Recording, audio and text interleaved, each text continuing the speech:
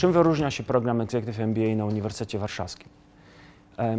Nasz program Executive MBA na UW jest dumny z tego, że jest częścią jednego z najlepszych, na pewno największego uniwersytetu w Polsce.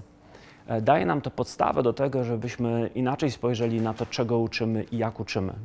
Nasze zajęcia to zwykle dyskusje pomiędzy uczestnikami, doświadczonymi menedżerami, liderami organizacji i e, wykładowcami, którzy w tym momencie pełnią bardziej rolę mentorów, e, inspiratorów. Czasami e, stawiają pewne wyzwania przed grupą, e, niż kogoś, kto po prostu ma za zadanie przekazać wiedzę.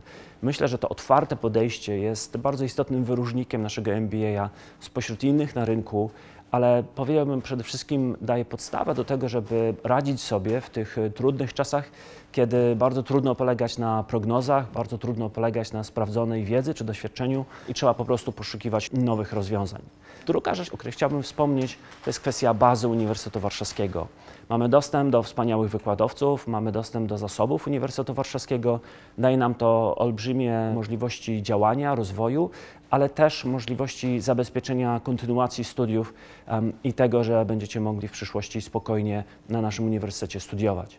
I wreszcie trzeci czynnik, który wykracza poza same studia i poza to, czego uczymy, to jest e, nasze Stowarzyszenie Absolwentów i szerzej nasi absolwenci, e, z którymi cały czas utrzymujemy kontakt. Stowarzyszenie Absolwentów e, jest bardzo aktywne, prowadzi różne formy spotkań od biznes mikserów po spotkanie tematyczne, branżowe, y, kończąc na balu czy wyjazdach y, turystycznych. y, To jeszcze było oczywiście przed pandemią. Daje to możliwości nawiązania, ale też utrzymania kontaktów, otwarcia się na nowe możliwości zawodowe, czy też po prostu spędzenia czasu w gronie sympatycznych i bardzo inteligentnych ludzi.